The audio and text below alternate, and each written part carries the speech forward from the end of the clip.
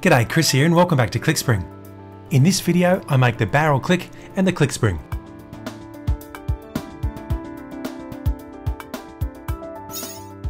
The purpose of the ratchet mechanism is to hold the barrel arbor stationary after the clock has been wound.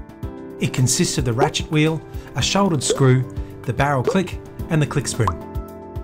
As the clock is wound, the click spring maintains pressure on the barrel click and ensures that it drops into position behind each ratchet tooth that passes. At the completion of each winding turn, the pressure is released from the winding square and the click locks into the base of the last tooth to pass. This immobilises the ratchet wheel and by connection the barrel arbor. The energy that's been put into the spring is now stored in the clock mechanism and there's only one way for it to be released, by the barrel assembly moving forward as the escapement ticks off the intervals of time. The first thing I need to do is to fit the ratchet wheel to the arbor. So let's get started. The ratchet wheel teeth were cut at the same time as all of the other wheels, and during that process it gets a hole formed in the centre. That needs to be modified into a square. I'm using the wheel crossing jig as well as some of these custom sized pins to mark it out.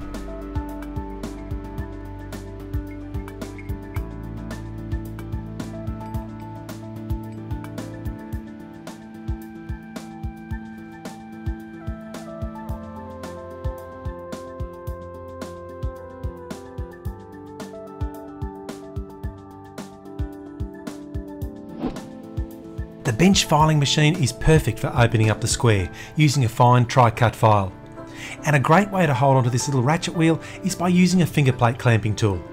Click on the link if you'd like to see how this tool was made.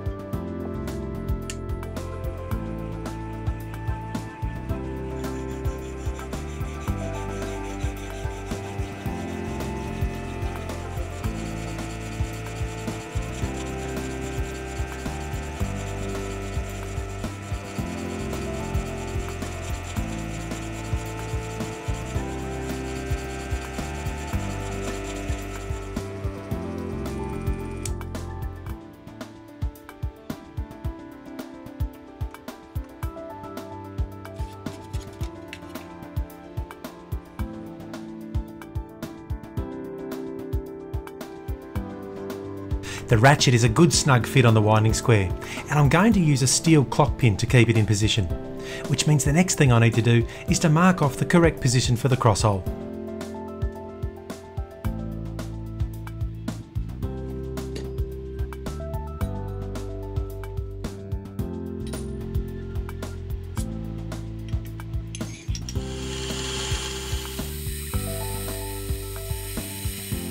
I've positioned the crosshole so that the perimeter just touches the scribed line.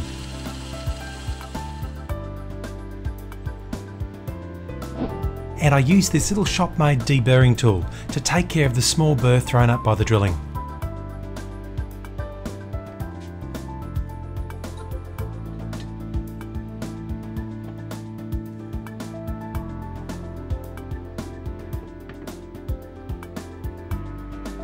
In classic clockmaking, tapered clock pins are a common method of fixing components into position. The pins are about a half inch long and have a gentle taper that locks them in place after insertion. The appropriately sized pin is selected and then gently driven into the hole. Although in this case, I'm putting it in very gently because I have to disassemble the mechanism many times before I'm finished. Okay, so with the ratchet in position, it's time to move on to the click, which has this beautiful curved shape that I'll be forming from precision ground tool steel.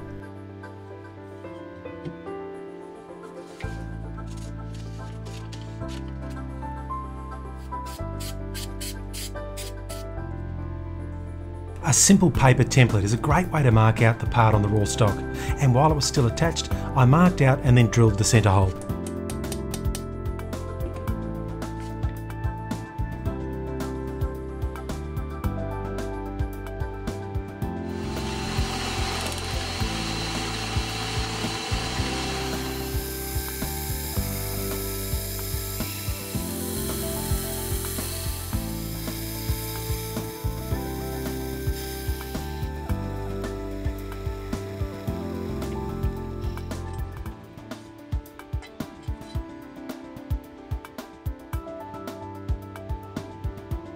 The part was then roughed out using the scroll saw and then brought closer to the line with the belt sander.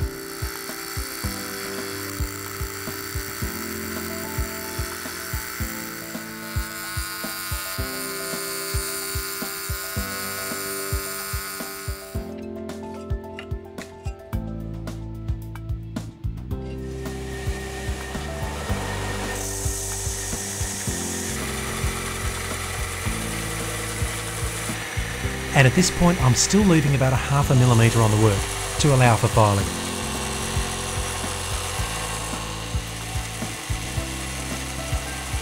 And speaking of filing, that circular part in the centre really does need to be spot on. So off camera I turned up a simple filing button to help me get a good result. It fits firmly in the central bore and I'll keep it on the part until I've completed the final shaping.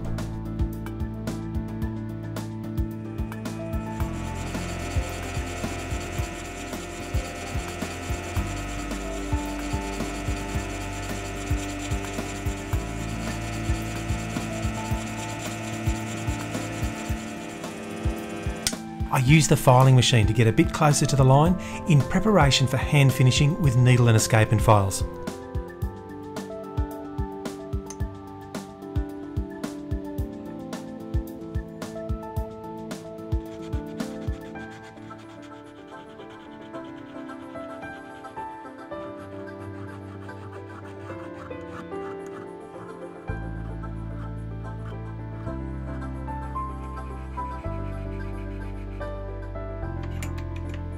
And that's where I'm going to leave the click for now.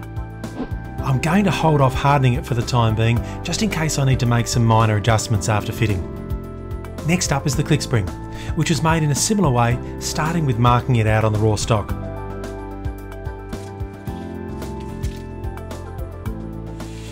Now there are two holes that need to be drilled. One is for the screw that holds it in position, and the other is for a tapered steady pin to locate the click spring precisely on the front plate. And much like the click, I roughed out the part on the scroll saw and then brought it closer to the line on the belt sander.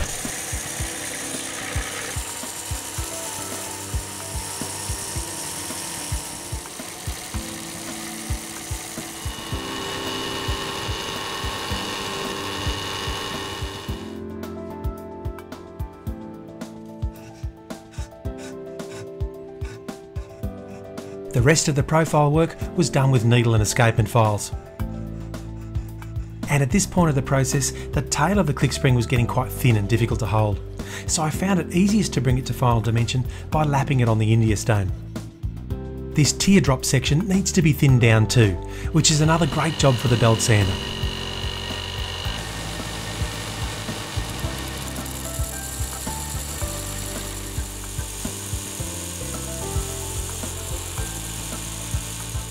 Some final finishing with needle files, and that's the click spring done for the moment too. Again, I'll leave it unhardened for now, just in case I need to make any small changes after fitting. Next I turned up the shouldered screw for the click, as well as the small screw to fix the click spring in place. The process is essentially the same for each of them, and the one I'm showing you here is the shouldered click screw, which needs to be a snug fit inside the central hole of the click.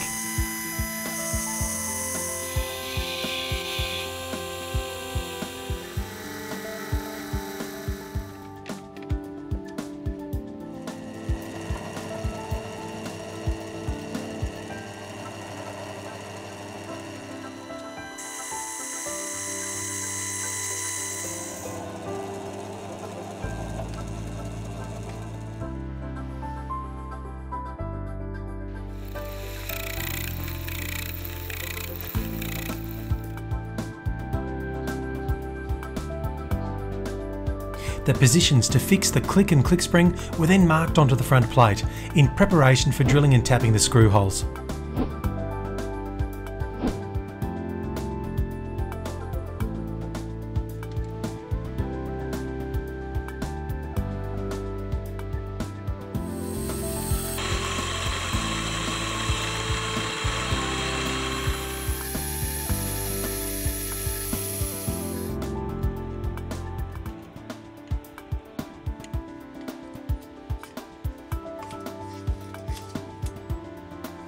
So with all of the main pieces complete to the pre-finishing stage, I can fit them to the clock frames and have a look at how they perform together.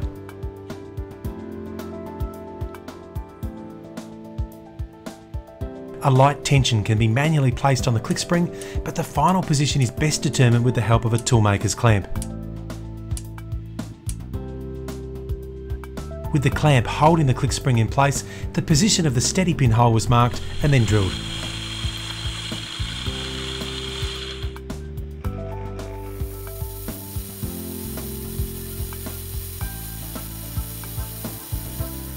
The pinhole was taper broached and the steady pin temporarily inserted to confirm the operation of the ratchet mechanism.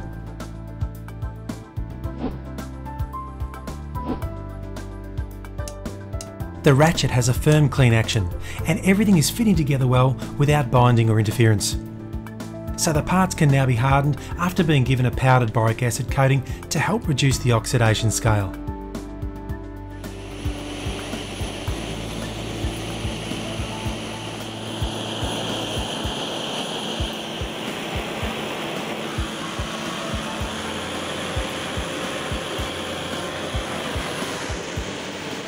After quenching in oil, each part was then tempered to blue in preparation for polishing.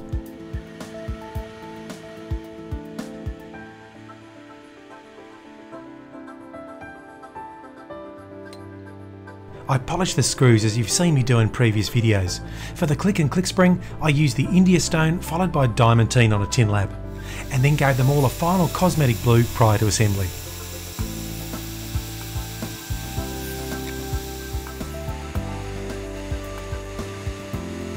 Now the click spring is the first of several quite long thin parts that need to be blued on this clock. So I made a new addition to the bluing tray set to accommodate it. Click on the link if you'd like to know more. All of the parts were then fitted to the clock frame for final testing.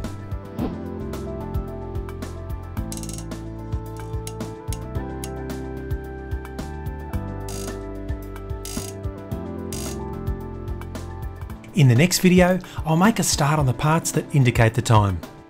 Thanks for watching. I'll see you later. And if you've just found your way into this clockmaking series, thanks for checking it out. This is just one episode of a longer series where I show all of the steps to make a mechanical clock from raw metal stock, so be sure to check out those other videos. I also post project videos on making some of the tools I need to build the clock, and you can also find some more toolmaking info on the ClickSpring Projects website. Thanks again for watching. I'll catch you on the next video.